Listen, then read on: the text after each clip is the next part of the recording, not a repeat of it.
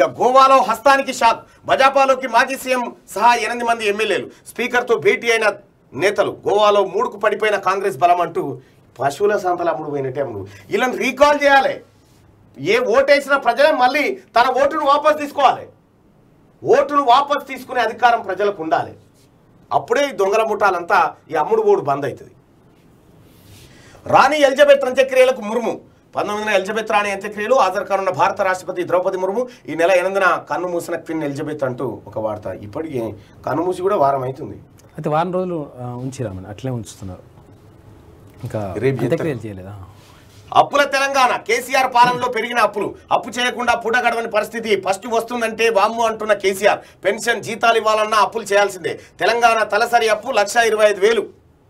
కేంద్ర మంత్రి నిర్మల అప్పు మూడు మూడు పాయింట్ రెండు తొమ్మిది లక్షల కోట్లు అని చెప్పి హరీష్ రావు బాధ్యతగా చేస్తున్నామని కలరింగ్ ఇస్తా ఉన్నాడు. ఇంకేం కలరింగ్ ఇస్తావు అయ్యా?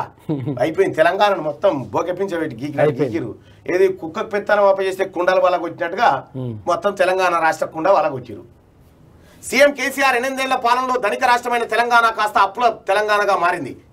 బంగారు తెలంగాణగా మారుస్తానని చెప్పి రాష్ట్రాన్ని అప్పుల కుప్పగా చేసిండు. అప్పు చేయనిదే పూట గడవని పరిస్థితి రాష్ట్రంలో ఉంది. రాష్ట్ర ప్రభుత్వం చేస్తున్న అప్పులపై ప్రతిపక్ష నాయకులు తీవ్ర విమర్శలు చేస్తున్నా పట్టించుకోకుండా పట్టించుకోకుండా మరిన్ని అప్పులు చేయడానికి కేసీఆర్ ప్రభుత్వం ప్రయత్నాలు చేస్తుంది. కేంద్ర ప్రభుత్వం ఆంక్షలు పెడితే రాజకీయ విమర్శలు చేస్తూ పబ్బం గడుపుకోవాలని కేసీఆర్ చూస్తున్నారు.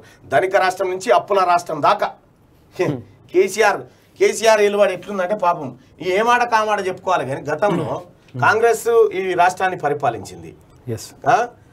కాంగ్రెస్ పరిపాలించినప్పుడేమో తెలంగాణ గ్రాఫ్ ఇగో ఇట్లా పోయింది. ఇగో ఇట్లా. ఇట్లా. కేసీఆర్ చేతికి అప్పచెప్పగానే మళ్ళీ ఈడికేను మళ్ళీ ఇట్లా వచ్చింది తెలంగాణ. ఇది కేసీఆర్ పరిపాలన ఈ రెండిట్లలో చెప్పొచ్చు గంతే ఎట్లుంటది ఏం కథ? ఎక్కువ మాటలు ఏమొద్దు ఎక్కువ మాటలు కూడా ఏమక్కర్లేదు ఇక కేసీఆర్ చేతికి పోయిందంటే కుక్కకు పెత్తనం అప్ప చెప్తే కుండలు వాళ్ళకి వచ్చినట్టు చేసిండు తెలంగాణను. నూనె కట్ల పాము మొత్తం నాకినట్టుగా.